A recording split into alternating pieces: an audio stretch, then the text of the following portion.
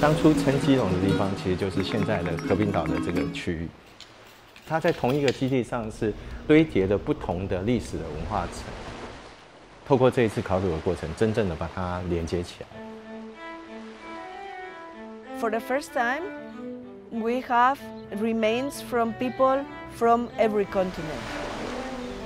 Chilón es una ciudad muy interesante, pero posiblemente de las más interesantes que hay en Taiwán. 非常多元，非常复杂哈，它有不同族群，甚至有欧洲人来过的一个地方。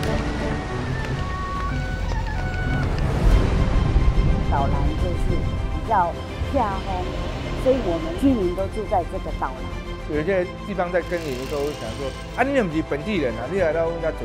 和平岛人比较不会这样，热情，直接，没什么太多的要去局限说，哦，你来自哪里？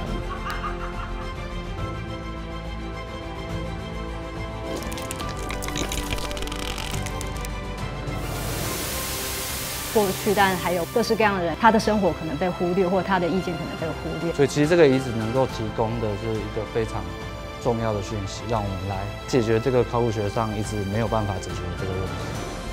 应该现地的保留，把一个文化的要素加进去的话，让我们台湾的民众，特别是地方的民众，可以了解到啊，在这个土地上面它的一个历史的发展。